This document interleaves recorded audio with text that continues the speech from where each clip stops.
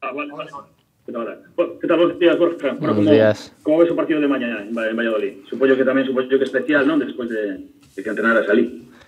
Sí, a nivel particular un, un partido especial porque, bueno, aparte de mi ciudad es donde entrené por primera vez en, en Segunda B, eh, es un club al que guardo muchísimo cariño por, por lo que significó en, en mi inicio de, de carrera y, bueno, también un poco por la cercanía de, de mi ciudad. Siempre te sientes un poquito identificado, o sea que, que- que contento de volver allí, de de volver a ver a mucha gente que, que dejé como amigos que, siguen en el club y, y sí, un partido un poco, un poco diferente para mí, especial.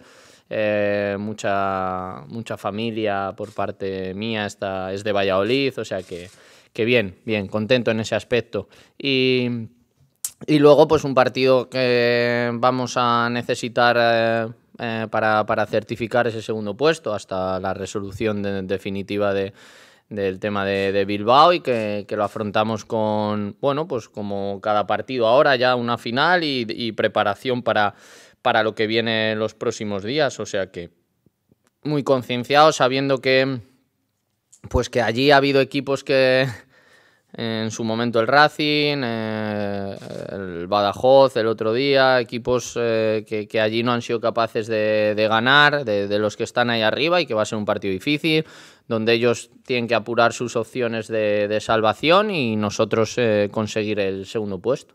Deporte Campeón.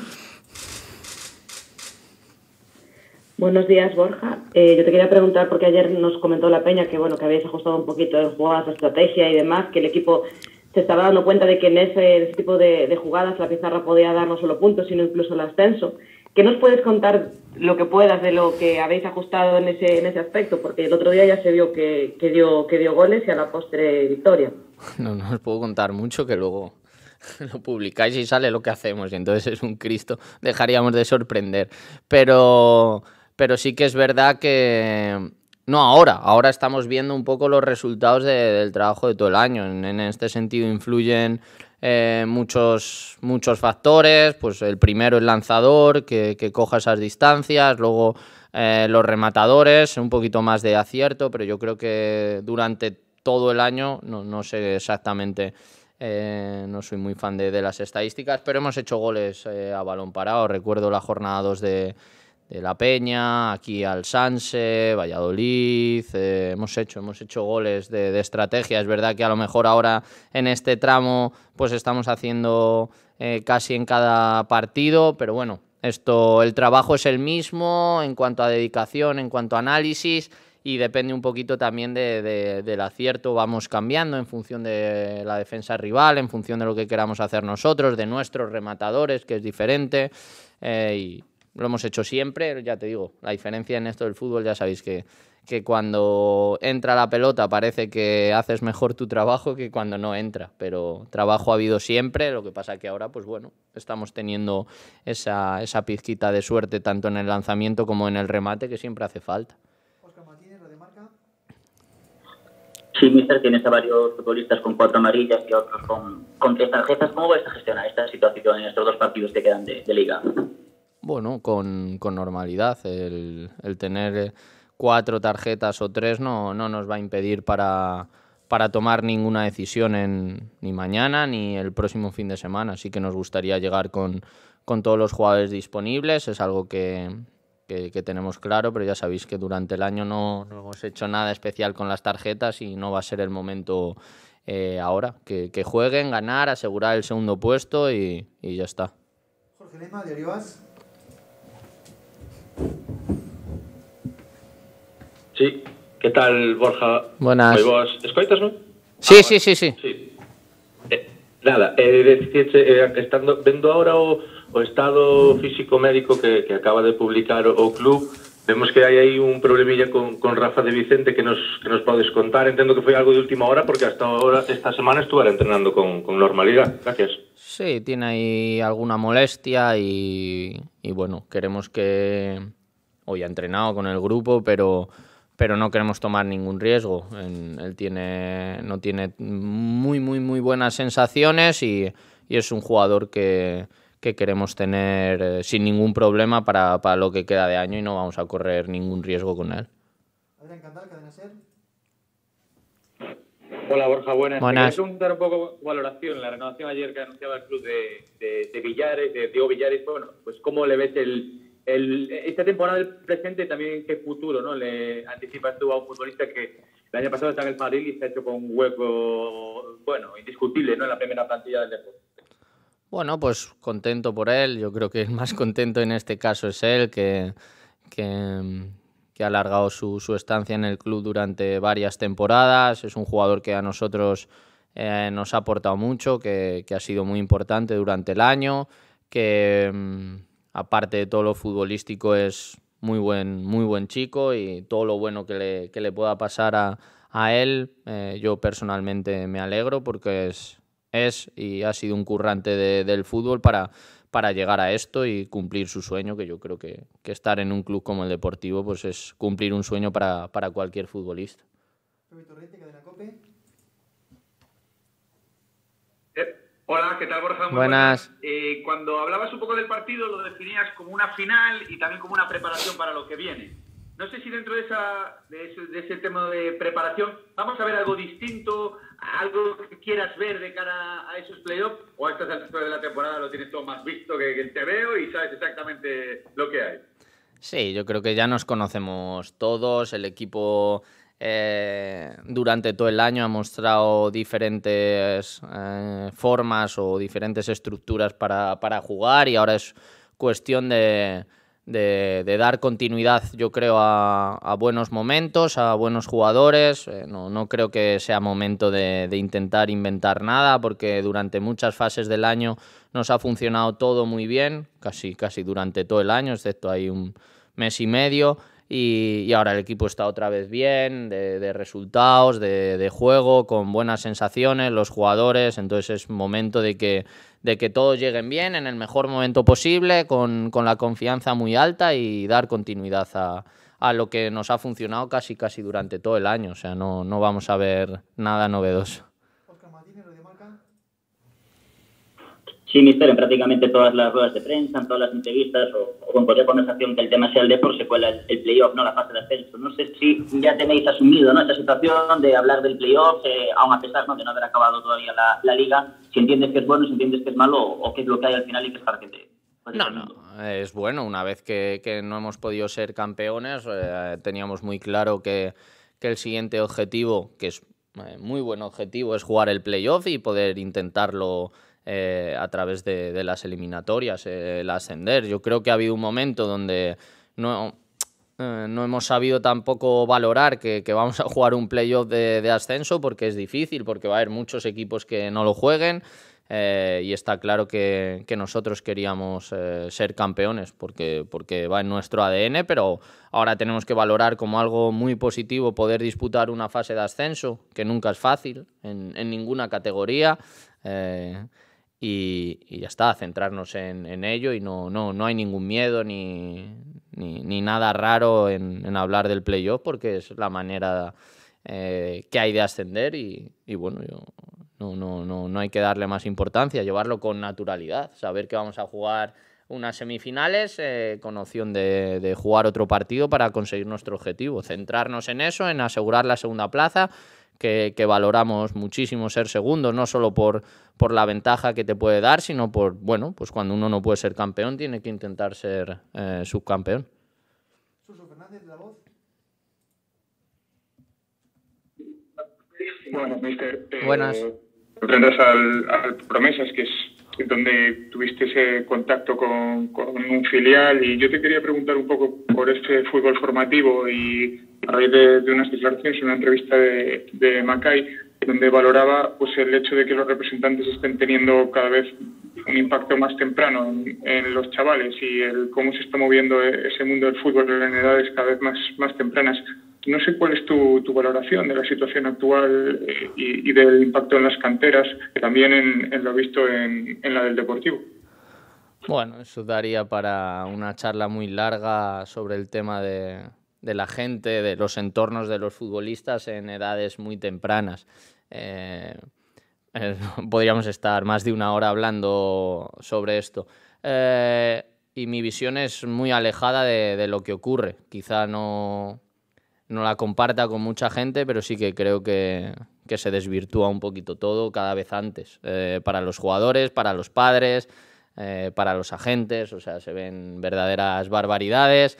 Eh, nos pensamos que hay futbolistas con 14 y 15 años y no se nos tiene que olvidar que con 14 y 15 años son niños y lo que tienen que hacer es, es jugar y hacer cosas que hacen los niños, no, no, no ser futbolistas. Entonces, entiendo que es un negocio eh, que cada vez se abre más, donde, pues como en cada negocio, todo el mundo quiere participación y sacar tajada de todo, y eso lleva pues a que las canteras funcionen peor, a que hagamos las cosas peor, a que la gente, los padres, los entornos, eh, se haga todo peor. Eh, ves movimientos de jugadores con 13 años, con 12, o sea, auténticas barbaridades. Lo que tienen que hacer con esas edades es estar con sus padres y recibir una educación adecuada. Pero es el fútbol que tenemos ahora, es lo que, es lo que hay. Eh, saber que el que parece futbolista con 14 años, con 18 puede, puede no serlo. Y el que con 14 no lo parece, con 18 sí. Yo creo que ahí para mí influye mucho la, la educación que recibe cada persona, independientemente de, del talento que, que, tengan. Entonces, pues bueno, ya te digo, pero es una visión muy personal y creo que muy alejada de, de lo que piensa la mayoría de, de la gente y, de los clubs. O sea que, ya os digo, es muy particular mía de, cómo creo que se deben de hacer las cosas, pero por eso en su momento me alejé un poquito del fútbol base cuando empezaba, porque, porque no me gustaba todo lo que hay alrededor. Pero ya os digo, es un tema muy personal mío. Sí, te quería preguntar un poco qué importancia le das, Mister, al, al hecho de tener esta última salida ¿no? a domicilio. Creo que hace unas semanas en Talavera decías bueno, celebrabas que ya no había muchos más encuentros fuera de casa, ¿no? ¿Qué importancia le das a poder acabar esta temporada lejos de Riazor pues, con, un, con un triunfo, precisamente para tener cosas positivas de cara al playoff? Bueno, yo creo, Adri, que las cosas eh, positivas de cara al playoff ya las ha mostrado el equipo durante todo el año. Yo entiendo que ahora, en función de lo que pueda ocurrir mañana o el domingo, pues queramos hacer un análisis si llegamos mejor o peor o regular. No, las sensaciones del equipo van a ser buenas. Eh, creo que hemos hecho un año eh, bastante bueno eh, por, por, el número de puntos que llevamos, por cómo se ha mostrado el equipo y para mí no, no, no, va a condicionar nada lo que ocurra estas dos semanas para, que, para saber que el equipo llega preparado al, al momento de la verdad, a jugar los playoffs. Luego podrá pasar que vaya bien, mal o regular, pero el equipo va a llegar bien. Eh, porque, porque lo ha demostrado, porque estoy con ellos en el día a día y porque, porque es así. E independientemente, ya te digo, de que mañana podamos ganar, perder o empatar y el sábado siguiente ocurra. O sea, no, no tengo ninguna duda, ni el equipo va a llegar con más moral por ganar estos dos partidos o con menos. No, el equipo está ya muy centrado en, en todo lo que tiene que hacer, vamos acumulando entrenos, vamos preparando cosas de cara a ese playoff, ajustando, pues bueno, lo que creemos que, tiene margen de mejora en el equipo todavía, que siempre se puede mejorar, pero no, va a influir tanto ninguno de los dos resultados. Al final, cuando, te vas a jugar todo el año en primero en una semana y ojalá luego la siguiente, pues el nivel de concentración, el nivel de, compromiso con hacer bien las cosas es muy alto. No nos va a influir los resultados para saber que el equipo llega en buen momento. Eh, y justo Precisamente, hablando del tema del playoff, no sé si ya te ha empezado a dar tiempo a ver partidos del otro grupo o ya te están pasando informes, o a lo mejor el analista de turno, el tema del Big ya te empiezan a pasar informes de algunos equipos. ¿Ya estás mirando un poquito al otro grupo o todavía No, no, no, no lo estoy mirando, porque creo que mm, lo que nosotros hagamos en el playoff va a depender muy mucho de nosotros. En el momento que conozcamos los rivales, se lo digo a todo el mundo, intento además, es más, te diría casi, casi que les tengo muy centrados a toda la gente que está en el cuerpo técnico para que sigamos trabajando en lo que nosotros podemos mejorar de cara a los playoffs, porque no sabemos ni quién es el rival de la primera eliminatoria ni, ni nada. Para, para, conocer a un rival con, con, toda, bueno, pues cómo trabajamos nosotros, con dos, tres días de, análisis donde podamos visualizar siete, ocho partidos, eh, vamos a tener más que sabido lo que nos podemos encontrar Y luego muchas veces te, te hartas a ver vídeos, a ver cosas y resulta que, que no aparece nada de eso, que te cambian la formación. Entonces, eh, es más bien que nosotros em, tengamos claro lo que hay que hacer. También es cierto que al rival que nos vamos a enfrentar eh, y como, bueno, pues dentro de lo que vaya ocurriendo en el partido, ir solventando problemas, como digo yo pero todavía queda para eso, queda mucho. O sea, empezar ahora a pensar en quién puede ser el rival o hablar de, de playoff se nos va a hacer a nosotros muy largo, a vosotros también. Es cierto que ya está ahí, parece que llega, pero bueno, todavía nos queda esta semana de competir mañana en Valladolid, que como he dicho antes, eh, para nosotros es importante asegurar esa segunda plaza y luego nos quedará eh, aquí con nuestra afición para despedir, yo creo que lo que ha sido eh, un año casi, casi, casi muy bueno y centrados en eso. A partir de ahí, pues conocer el rival que sea y empezar a prepararlo con, total normalidad, dentro de que entendemos que será una semana especial para mucha gente, pero para nosotros tenemos que intentar que sea una semana más dentro de todas las que hemos tenido. Oscar Martínez, de marca. Sí, me quería preguntarte por un nombre propio, por el de Trigi. Parece que daba un pasito adelante Esta semana no pudo trabajar con, con el grupo, con vosotros. ¿Cómo lo estás viendo y cómo está avanzando el lateral derecho? No, bueno, ya os comenté mis expectativas sobre el tema de, de. Él no ha tenido suerte esta temporada. No, yo creo que, como dije hace, yo creo que ya un mes o así, creo que no nos va a poder ayudar porque tiene molestias. Eh, cuando da un pasito hacia adelante en, reincorporarse vuelve a tener molestias y lo que hay que hacer es buscar una solución para que el chico tenga buenas sensaciones y, no le duela. es una pena porque eh, hicimos una apuesta muy fuerte en él y, pues bueno, por determinados motivos no ha podido tener no ha podido tener continuidad y bueno, pues hay que estar cerca de él para darle cariño, saber que el fútbol, como he dicho antes, no se acaba con 18 años, que se recupere, que, se prepare bien, que, que le queda una carrera muy larga. Eh, una solo sobre el playoff, precisamente, sin entrar en nombres. ¿eh? Eh, no vas a tener esa opción, pero si pudieses elegir, ¿preferirías antes a un equipo que no fuese un filial en esos cruces o directamente te da igual el que sea? como no puedo elegir, el resto de cosas ya da un poco igual. Pero no, no, no, no tengo en mis playoffs, pues he tenido la suerte de poder eliminar, poder, además eliminar, quería decir poder enfrentarme, pero fue poder eliminar tanto a un filial como, como a equipos, bueno, pues o de mucha entidad, o equipos que habían sido campeones, eh, he vivido de, todo ya en los playoffs. Eh, es cierto que, los filiales se comportan de manera diferente a, a, un equipo que, que no sea filial, pero no sé si es mejor o peor ya te digo, Adri, como no, no es algo en lo que pueda influir ni vaya a poder elegir yo el rival, el que sea, eh, bienvenido sea a prepararlo bien, a, como he dicho antes, a afrontarlo nosotros con, con total normalidad y, y, a ganar. Y la última para Suso, de la voz, Suso Fernández. Eh, de cara a estos dos encuentros, especialmente a este, o sea, el segundo, si, si mañana todo va bien, eh, sí que ves alguna opción de, que se vean a esos jugadores que menos minutos están contando. Eh, ¿Crees que todavía hay opción de reenganchar a algunos de cara a, la promoción? Bueno, es que no veo, no veo mucho jugador ahora mismo. El jugador es inteligente y lo que quiere es estar bien porque llega el momento de la verdad. No, no tengo la percepción de que haya jugadores eh, desenganchados, aunque su participación sea, sea menor o haya sido poca durante todo el año. El participar ahora más o menos no, no les va a ayudar en en tener mejores sensaciones o sentirse más o menos eh, enganchado al equipo. Ya te, digo, están todos eh, muy mentalizados de que nos quedan dos partidos, de que tenemos que afrontar el de mañana, que como he dicho antes va a ser un partido difícil porque ellos están jugando algo muy importante, que es mantener la, categoría, eh, y nosotros sabemos que también no lo estamos jugando, que es poder ser segundos, pero, pero no, no, no tengo esa percepción eh, ni de que vaya a ser necesario enganchar a alguno a través de minutos, ni que se haya desenganchado ninguno. A ver, Oscar, la última para ti.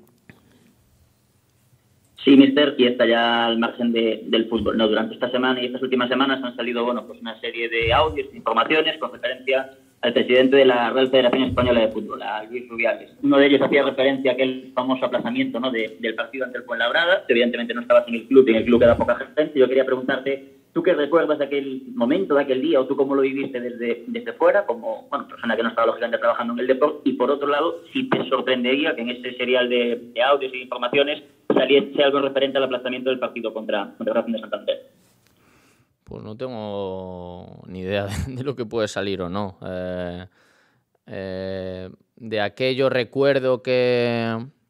Eh, no lo recuerdo muy bien porque estaba jugándome un ascenso a segunda A con Cartagena, pero sí que, sí que es verdad que, que, soy consciente del aplazamiento, pero sin estar dentro no sé lo que realmente lo, lo, que ocurrió. Es decir, eso son situaciones muy personales de, de, cada uno y bueno, pues lo que está apareciendo, pues supongo que, sorprendido como, cualquier persona que, que, que, lea o que escuche, pero, pero nada más allá de, de, de un aficionado o de alguien que, que lee desde, desde, la distancia. Sin poder estar dentro no, no puedo opinar eh, mucho de, de, lo que ocurrió, pero bueno, al final hay que... En la vida hay que intentar ser eh, justo, hay que intentar ser leal y, y ya está. No, no, puedo hacer muchas valoraciones porque, porque no estaba aquí. Muy bien, gracias, mister. Nada, chao.